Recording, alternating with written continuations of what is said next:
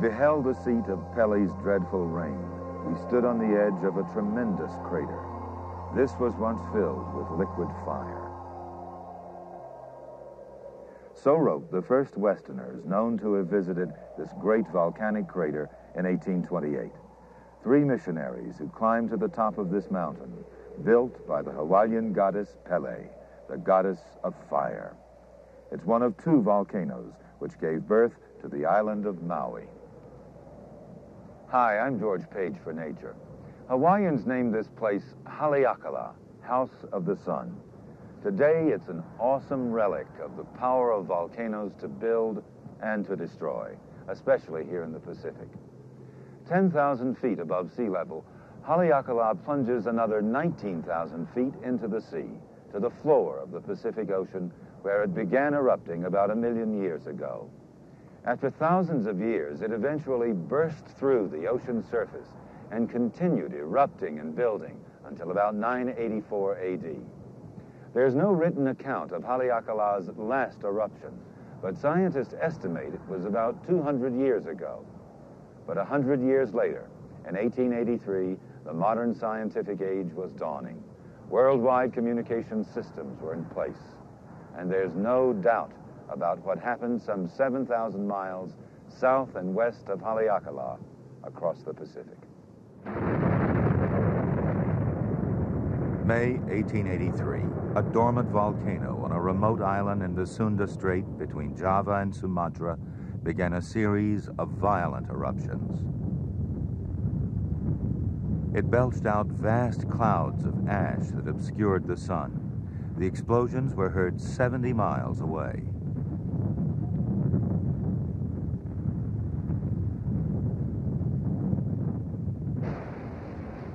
Toward the end of May, the fireworks seemed to have died down a little, though ships passing through the straits at night could see the glow of molten lava in the crater.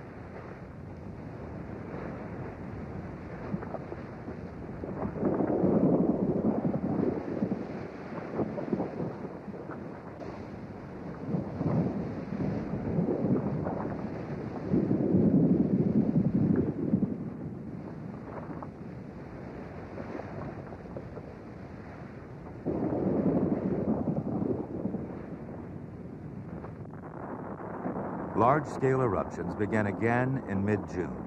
This time they were even more violent. Earth tremors were felt in many parts of Java and Sumatra. The crater where the explosions had begun was blown away, but now there were at least 10 others belching out steam and pumice dust. It went so high that the ash fell on villages 300 miles away. The climax came on August 27, 1883, with an explosion equal to 3,000 atom bombs. The island of Krakatoa disappeared with a bang that was heard as far away as Sri Lanka and Australia.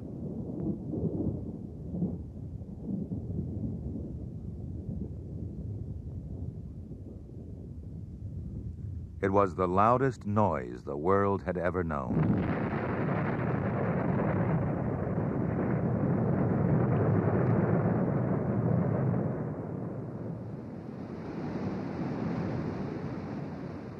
Amazingly, the actual explosion killed very few people. The havoc was caused by the seismic waves called tsunamis that followed. Some were a hundred feet high.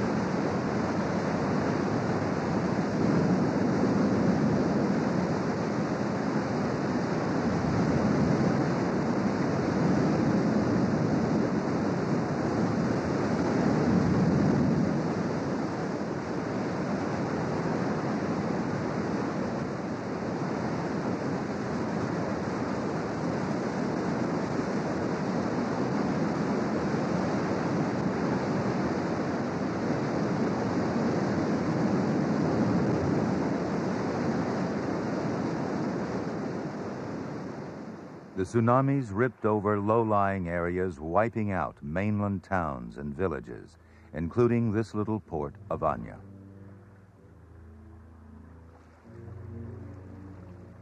It's estimated that 36,000 people throughout the area died. Engravings from the time show ships sailing through seas of corpses. This amazing series of photographs taken a few days later on the mainland show scenes reminiscent of Hiroshima. All that remains of a railway and an engine. The giant waves flattened everything, including a hotel and a fort. A Dutch gunboat was struck by a series of 90-foot waves and carried over a mile into the jungle. After the Big Bang, there was one minor explosion and then silence. The dust that rose 50 miles high circled the Earth, causing spectacular sunsets for years afterwards. Half the island of Krakatoa had disappeared, much of it into the upper atmosphere. For a hundred miles around, floodwaters wiped the slate clean. Nature could have a fresh start. A century after the floodwaters drained away is an ideal time to see what sort of job nature has done of repairing the damage. The floods flattened huge areas of jungle and destroyed countless villages. As for the wildlife there, only those lucky enough to be isolated on high ground survived.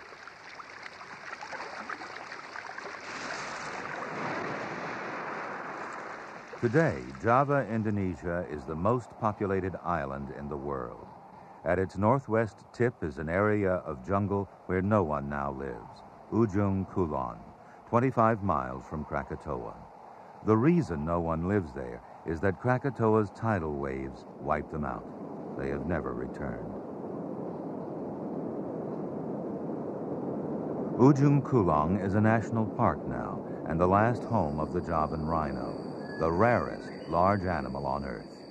In 100 years, the jungle has returned so completely that the only way to penetrate the park is along one of its few rivers.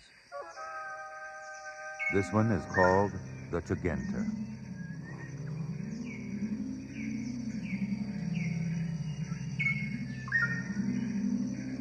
To travel along the Cigenter's narrow five-mile course is like making a voyage back to prehistoric times. Yeah.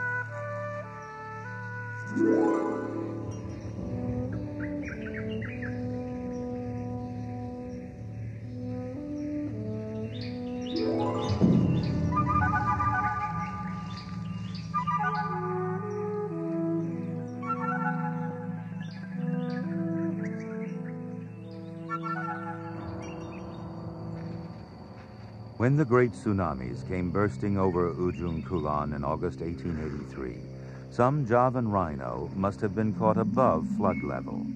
That a few of their descendants are living there today is due to the human side of the tragedy, the fact that Ujung Kulon has never been resettled since the disaster.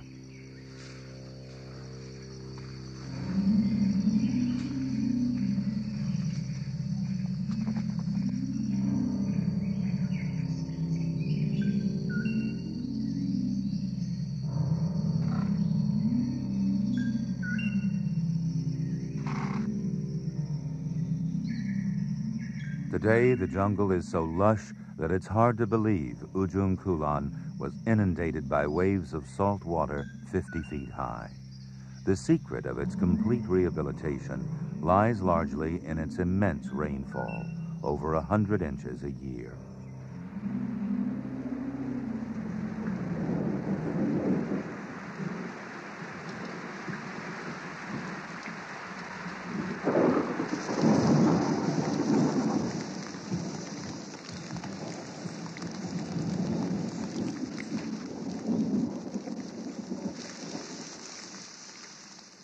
The rains are followed by six months of sunshine.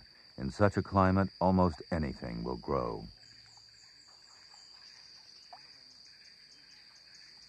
When the rains end in April, it's an immediate signal for the birds to begin nesting.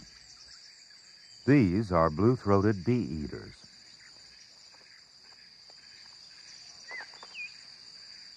The olive-backed sunbird feeds its young in its complicated hanging nest. A female Philippine glossy starling looks for a nest hole. A pair of brown-capped woodpeckers has already found one, though a little more wood carving is needed.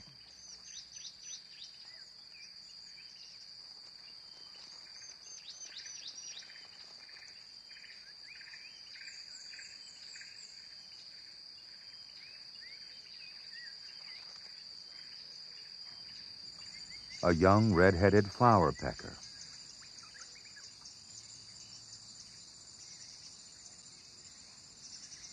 An ashy wood swallow feeds its young after they've left the nest.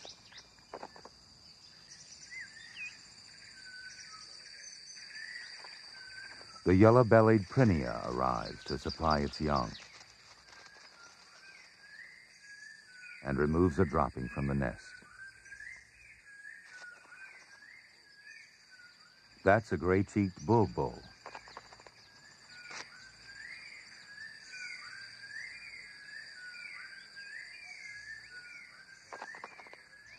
The open banks of the little river offer insect-eating birds an abundance of food. The mudflats of the Cigenter River are home to thousands of fiddler crabs and a hunting ground for those who find crab a delicacy. The waving of the one big claw is territorial behavior. The aim is to intimidate rivals.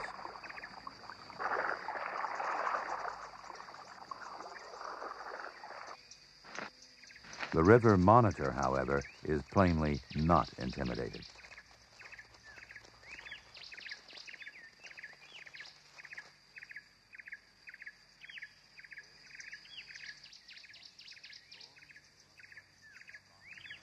Lowering its front ramp, a box terrapin prepares to go hunting.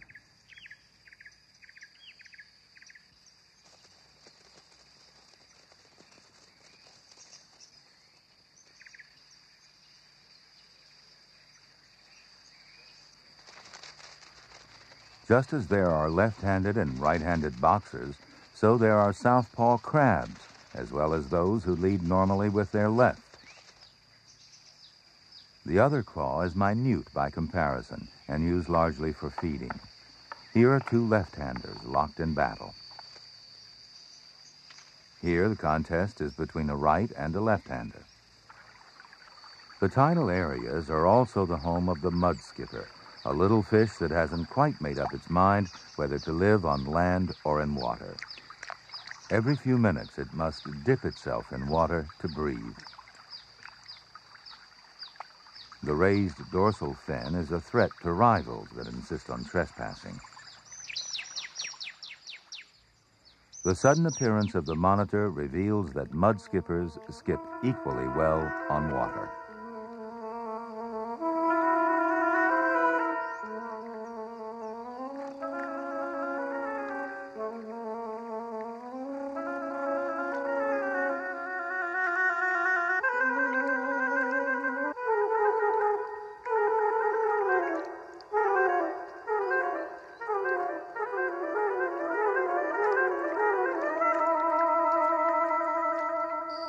The gray mud along the banks contains a good deal of ash from Krakatoa's hundred-year-old explosion.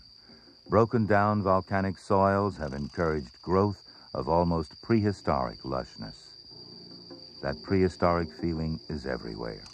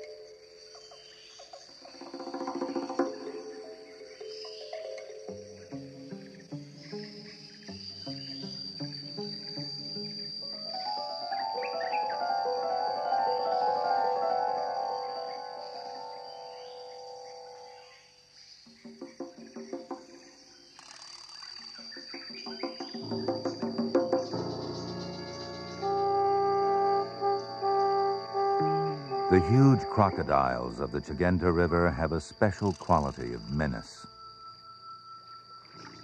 This monster is about to dispute territory with a rival.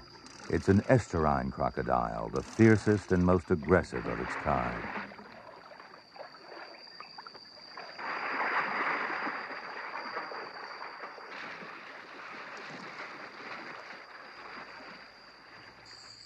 It's hard to imagine now that a hundred years ago, any vegetation that survived here was buried under inches and often feet of gray volcanic dust. The somber green of the regrown jungle is a perfect setting for a Javan kingfisher's jeweled wings.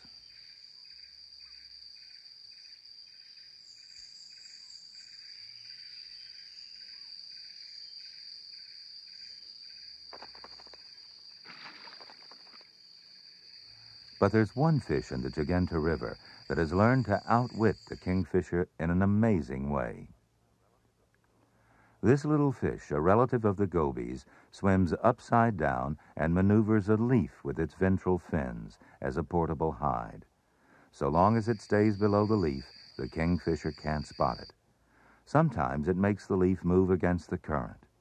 So far, the river's many species of fish-eating birds haven't been smart enough to work this out. Before this was filmed, the leaf-hiding behavior was not known to science. It's possibly the first case on record of a tool using fish.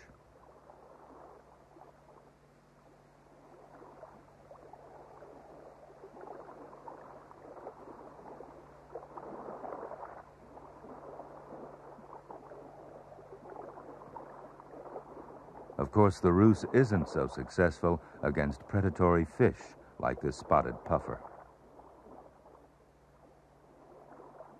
To discourage the puffer, the fish blows up its gills to make itself look bigger. It's a trick the puffer should understand very well. It's exactly how it defends itself against enemies. Seven species of kingfisher earn their living along the Cigenter. This one is called the rufous back.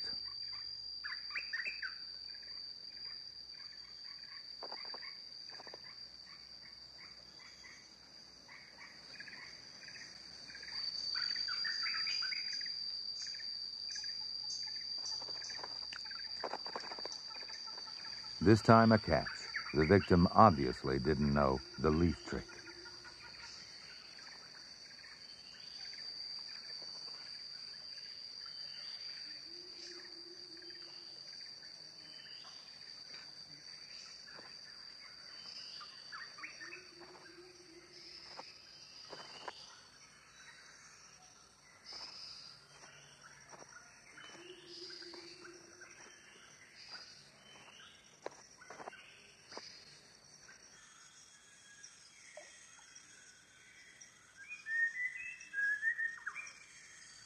The air is abuzz with insects, and the river busy with those who feed on them, an unusual pastime for a heron.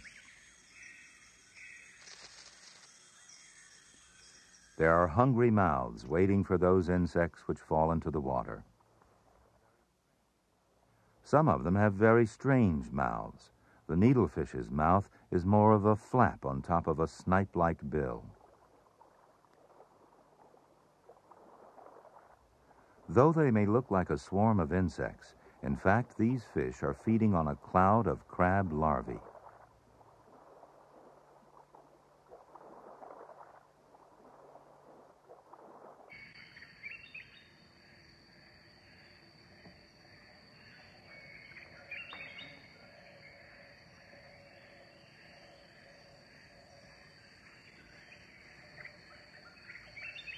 Now, this is an insect, and a big one, too. It's the caterpillar of the Atlas moth, the largest of the silk moth family.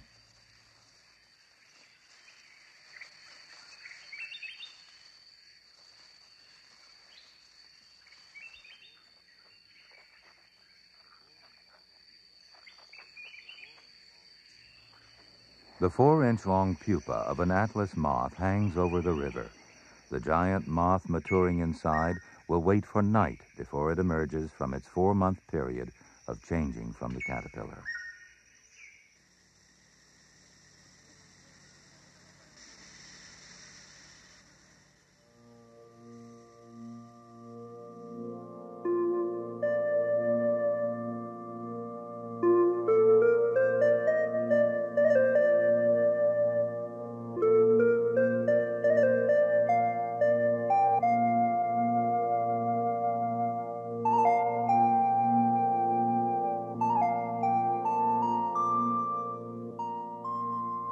Against the moon, the snake's head pattern on the wingtip shows up to great effect. It's said to be a device to ward off predators.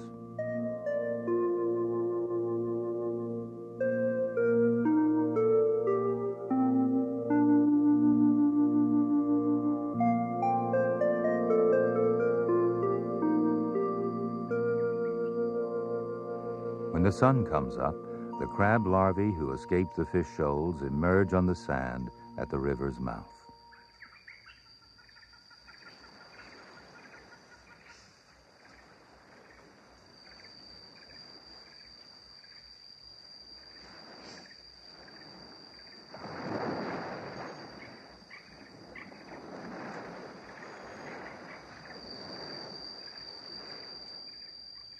The atlas moth that hatched in the night is still drying its wings.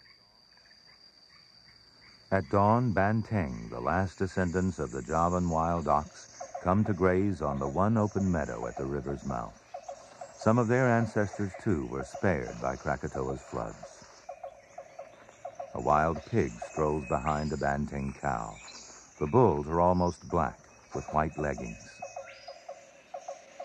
At dawn, too, the fruit bats return to roost after a night spent raiding the wild fig trees in the jungle. Their wings are three feet across. Their sharp, foxy faces and red heads give them their nickname, Flying Fox. That's a female coming in to land with young at her breast. Motherhood doesn't seem to give her priority in landing rights. She has to force arrival off the branch.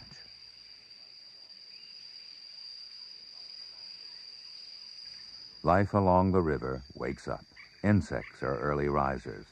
The river is a dangerous place for insects. Here you can literally be shot down, even if you're a caterpillar hanging from a thread 10 feet above the surface.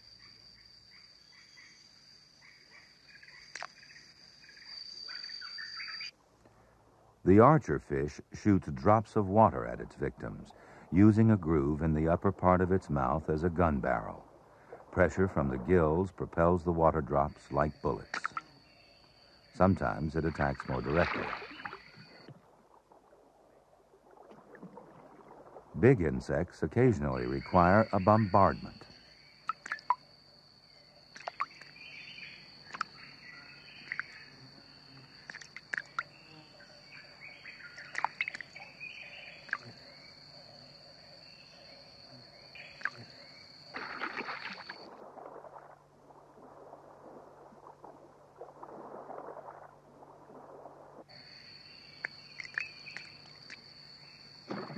and finally, the perfect kill.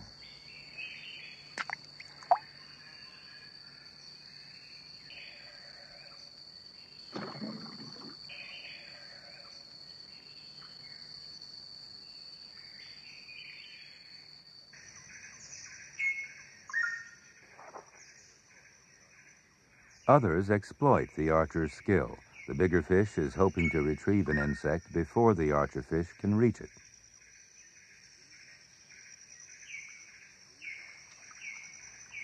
These are some of the wonders of Ujung Kulon, the national park which Krakatoa accidentally first created and then preserved. Ujung Kulon equally accidentally repays the debt. These nipa fruit seeds will find their way to the mouth of the Cigenter River. In a short time, they'll reach the sea, where a prevailing southerly wind and current will greet them. And due north, 25 miles away, a new Krakatoa rises from the sea to await their arrival.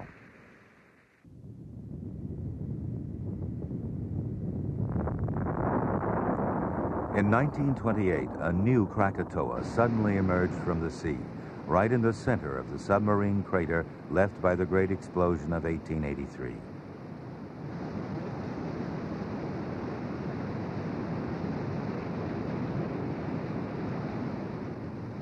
Anak Krakatoa, the son of Krakatoa, is now over a thousand feet high and showing every sign of following its parents' fiery example.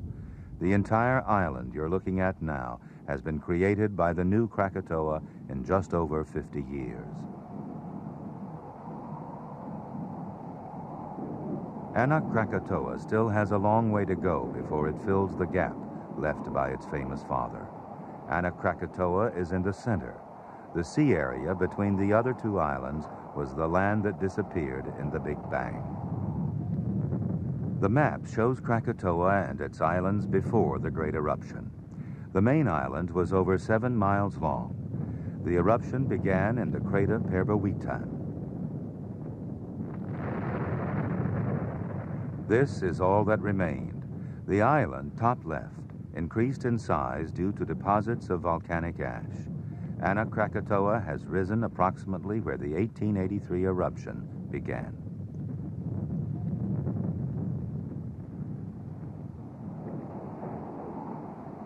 In the foreground is Rakata, the largest remaining piece of the old Krakatoa. The eruptions almost certainly killed all life there, so the forests are the result of a hundred years' growth. How is life doing on the new Krakatoa? This barren landscape is by no means all the story.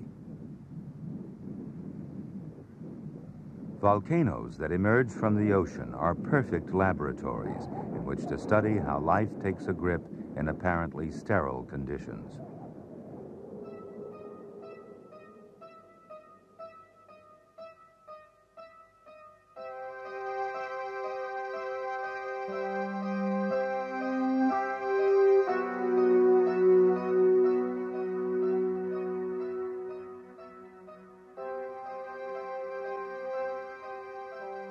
At first come the seeds born on the wind, their mission is to find a niche with soil in which they have at least some chance of germination in what is apparently a slag heap.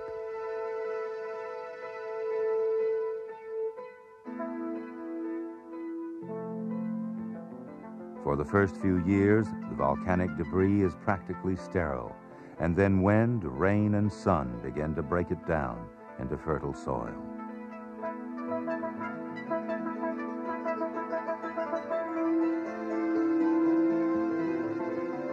The seeds that took root here are quite likely to have been a wind-borne gift from Ujung Kulon, just across the strait.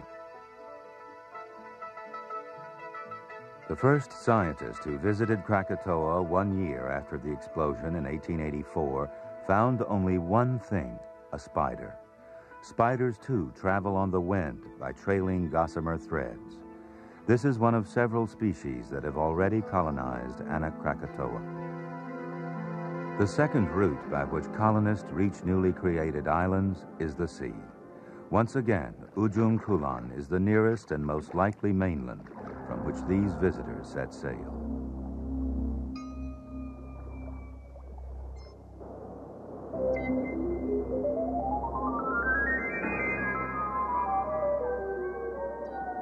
The seed pod, which we saw earlier leaving the mouth of the Cigenter River, may well have made landfall on the black volcanic sand of Anak Krakatoa's beach.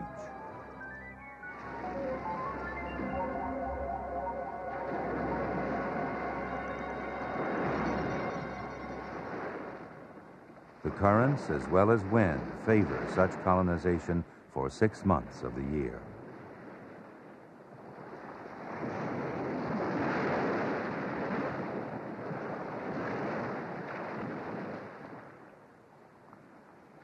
These pandanus seeds have begun sprouting just above the tide line, a risky tactic that sometimes pays off, as this fully grown pandanus tree at the sea's edge demonstrates.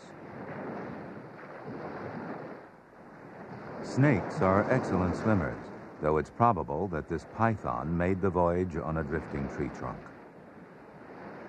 Ghost crabs, no problem about their arrival on Anak Krakatoa. The larvae drift in the plankton swarms. The water monitor is at home on land or sea. With plentiful supplies of ghost crabs, it has no food problems on arrival.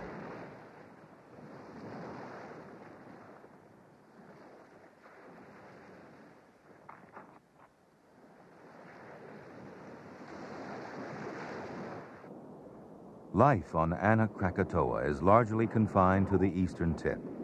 This is the only place where in 50 years vegetation has really established itself. But then it's had an uphill fight. The volcano has been erupting on and off ever since its rebirth. Lava and pumice ash continually bar further progress. Nevertheless, inside this miniature forest, there's a surprisingly varied flora, including Barringtonias, Pandanus, and mature casuarina trees. On the forest floor grows a quite rich variety of mosses, grasses, ferns, and some flowering plants, like this convolvulus.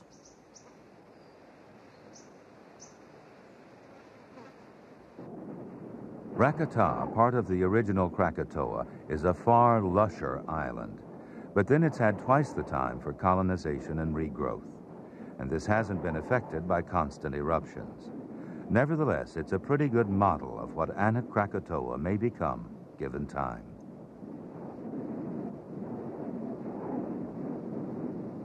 The steep face down which the Sea Eagle is soaring is where the great volcano collapsed into its own seabed crater. Even here, large trees have taken root.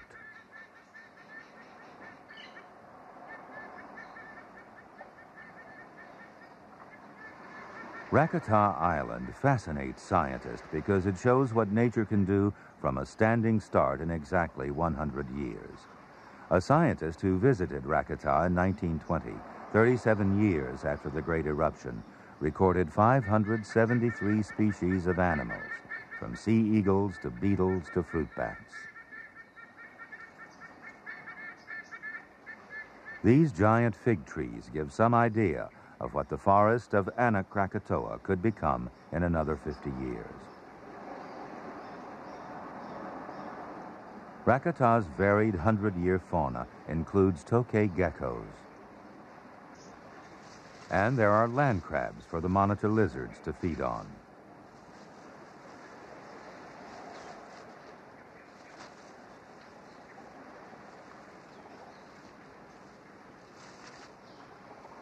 This well-fed python is probably feeding on rats. They found their way to Rakata some years ago.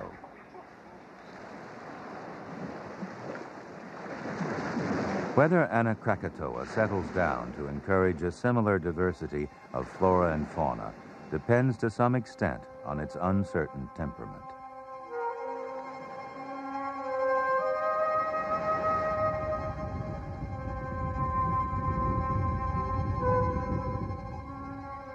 Now peaceful Rakata, we get a view of the Eden Anak Krakatoa could become.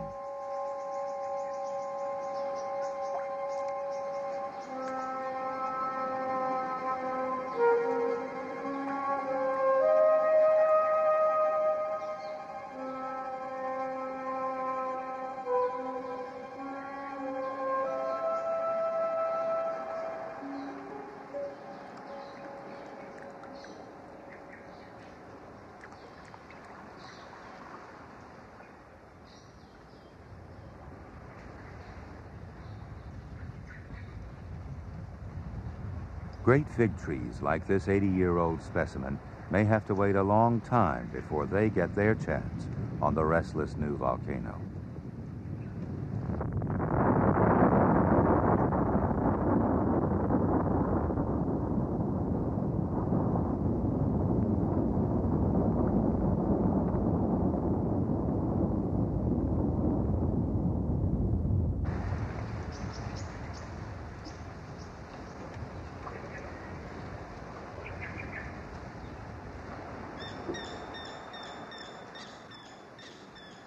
Ants were one of the first insects to move in on Rakata after the big eruption. During the first phase of recolonization by grasses, they were exceedingly numerous and mostly open savanna species. With the rapid development of tropical forest, the numbers dropped and woodland species like these leaf ants predominated. The workers here are sticking the leaves together to form a nest.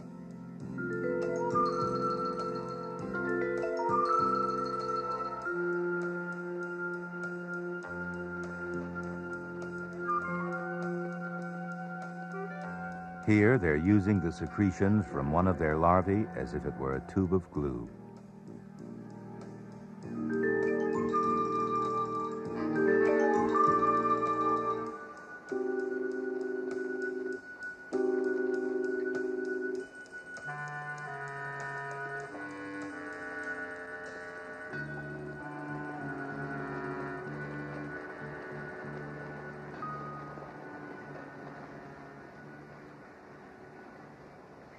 100 years, life has returned to Rakata in sufficient variety for different species to form complicated and useful relationships. These tree termite nests are a case in point. This hole wasn't made by termites, but by a far more glamorous creature. No one could call termites glamorous. They are, however, members of a marvelously organized community. These workers are exuding cement which they combine with their saliva to build up a nest as hard as concrete.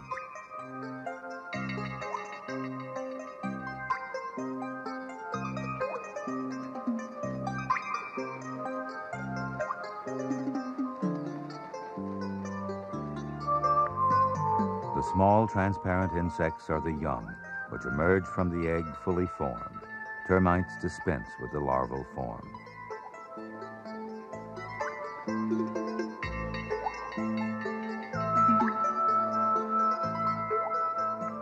All these workers are sterile females. So are the heavily armed soldiers. The sole purpose of every member is simply to service their four-inch long queen, hidden deep in the center of the nest, in the egg-laying chamber. Termites are used to sharing their nest with other creatures. Ground nesting termites often play host to mongooses and snakes.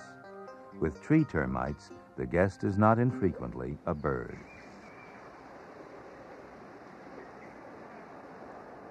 Many kingfishers tunnel into banks to make their nests.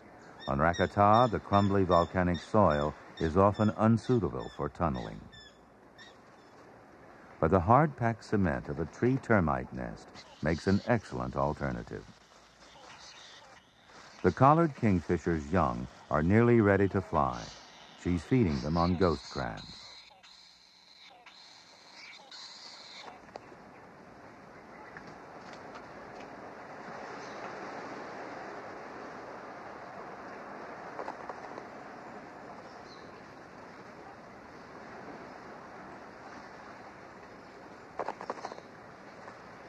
The interesting thing about the Kingfisher's family is that though the visiting parent seems to have no control over which of her children begs at the nest hole, all seem to get their fair shares. No one chick has grown at the expense of the others. So there must be some system of rotation, perhaps based on the time it takes to digest the last meal.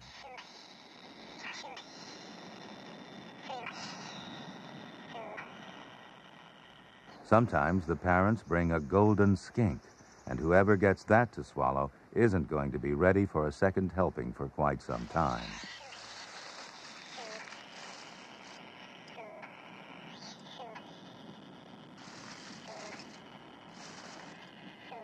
The skink lost its tail in the attempt to avoid capture.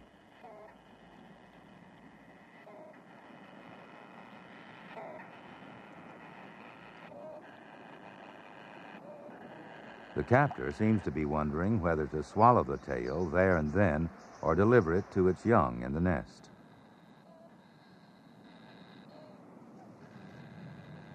Even while these scenes were being filmed, Anak Krakatoa, two miles away, was once again flexing its muscles.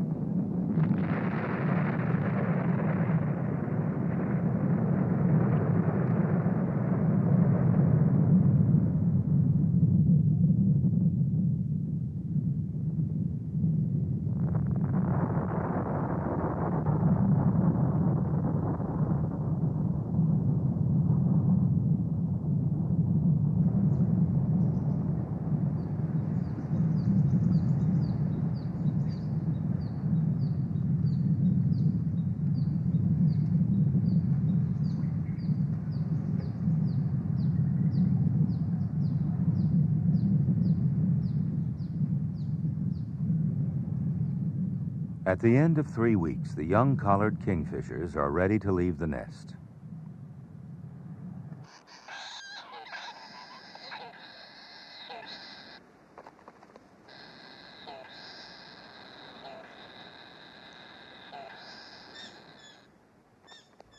Parental duties, however, are not over yet.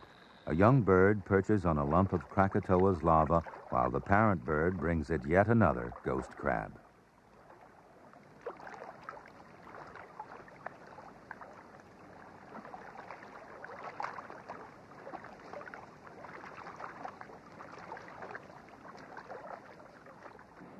As for the termites, they have the nest all to themselves once more.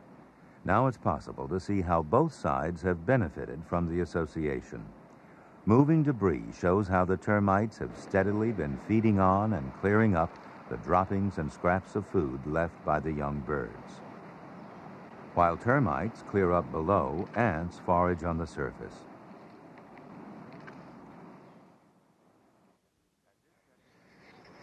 As if getting ready for the centennial, Anak Krakatoa was particularly active during the early 1980s. It was a busy time for several of Indonesia's approximately 1,000 volcanoes. In 1982, the dust from two other eruptions almost fatally stopped the engines of two Boeing 747s at over 20,000 feet.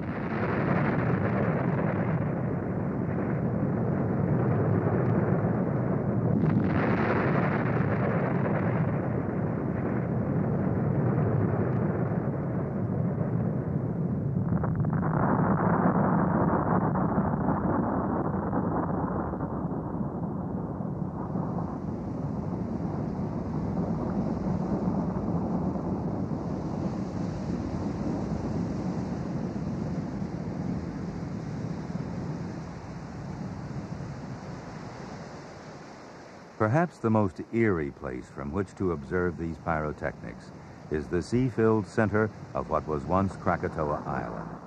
The rocks in the foreground stand up like a jagged tooth from the broken jaw of Krakatoa's old crater. Below is the empty magma chamber, into which the sea rushed to become superheated steam and into which most of Krakatoa eventually collapsed, causing the big final explosion.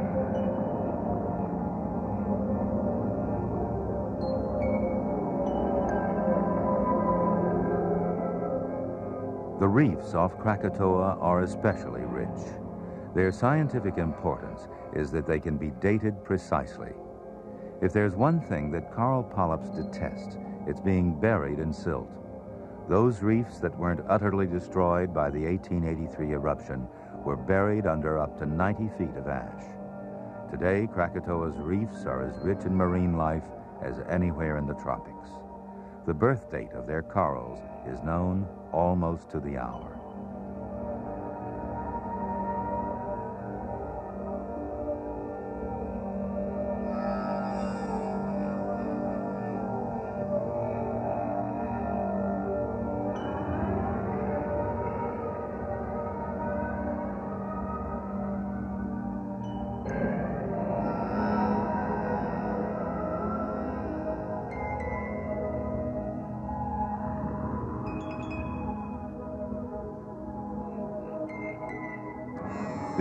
Authorities are anxious to extend the boundaries of the Ujung Kulon National Park to include the marine habitats around Krakatoa and its nearby islands.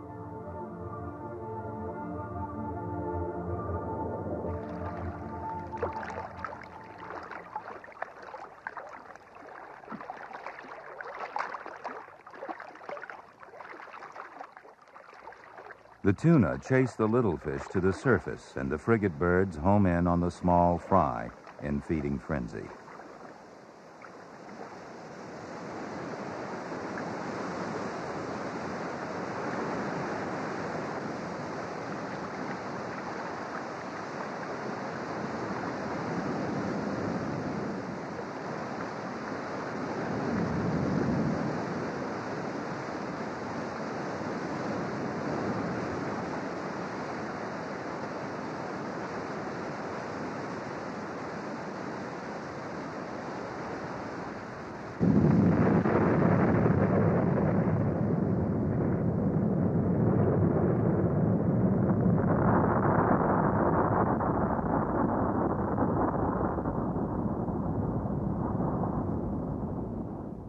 Just across the Sunda Strait, Ujung Kulon luxuriates in its present security from human interference.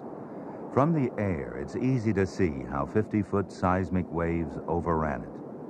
Let's hope it never happens again, because Ujung Kulon is the very last sanctuary of one of the rarest animals on Earth.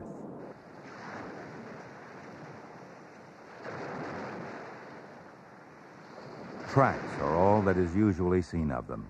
The animals have only been filmed once before and then very briefly in black and white. This is the first time they've been captured at length on color film.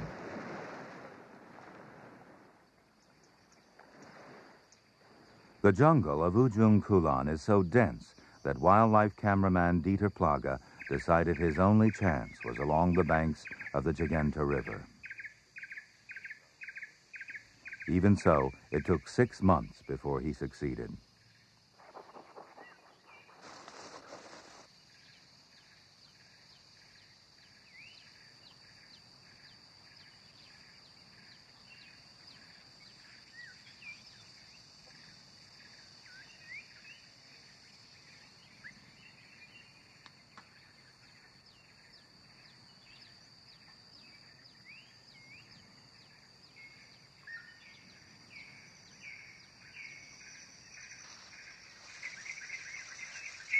There were occasional tantalizing glimpses, usually when the great animal was crossing the river before disappearing into the jungle again.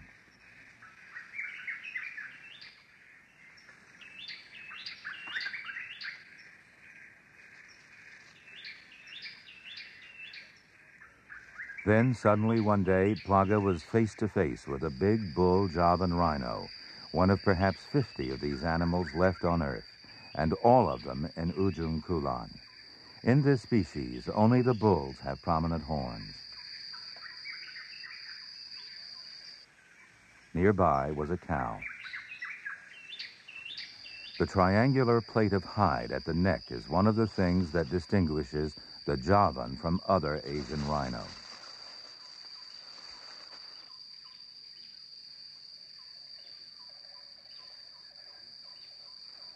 The female suddenly moves off towards the male, who has retreated some way into the jungle.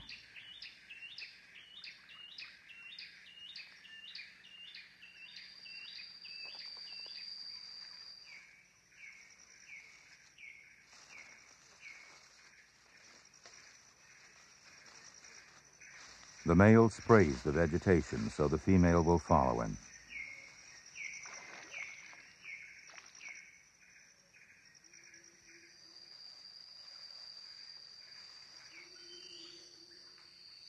And there's the male again. Slightly more wary this time.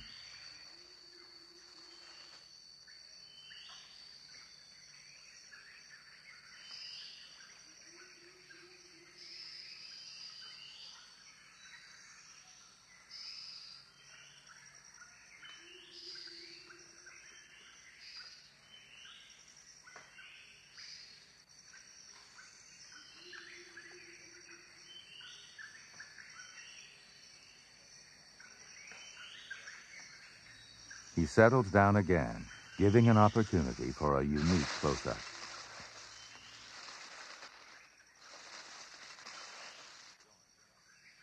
He's joined by the female.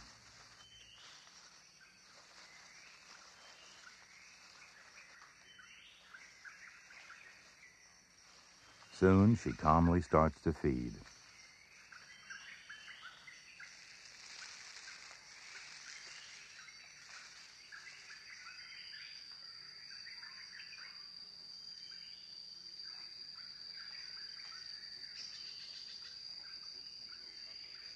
Prehensile upper lip reaches out to seize the vegetation.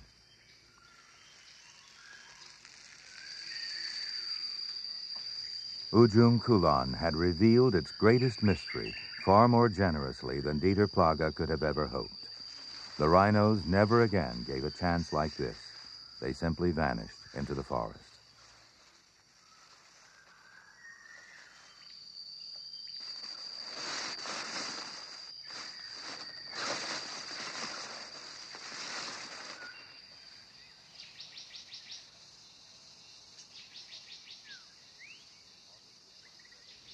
August the 27th, 1883, was the day that shook the world and destroyed so much life and property. It was also the day that isolated and helped to preserve this remarkable wilderness area. But with the son of Krakatoa fulminating only 25 miles away, no one can be sure of its future.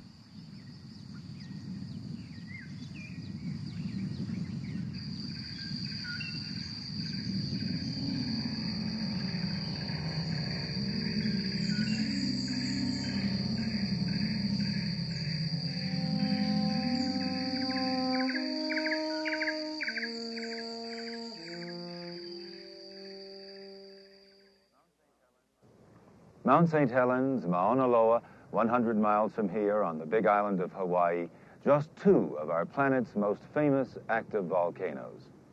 Scientists have made great progress in predicting volcanic activity, but it's not yet a perfect science. Geologists classify this great volcano on Maui as dormant, not extinct. Like Son of Krakatoa in Indonesia, it could erupt again. I'm George Page for Nature.